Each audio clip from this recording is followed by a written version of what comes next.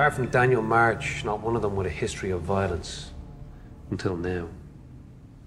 Raphael Lahiri, Rafe. Family owns hotels, they're loaded. He gets an allowance. Spunked a fortune on cocaine. Clean now, thanks to Daniel March. Justin Mannering. Parents divorced, spends his childhood pinballing between people who hate each other. They both remarry and get new families. He's on his own until this new family comes along, courtesy of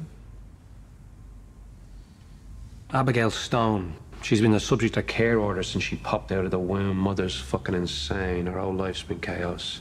But look at her. Smart as a whip, she works and works, gets herself a scholarship to Trinity and the home. Thanks to Daniel March. She'll fight hard. She's the one who scares me. Reminds me of that picture of you and Sammy boy you got in your flat. She looks at him the way he looked at you. Proper love.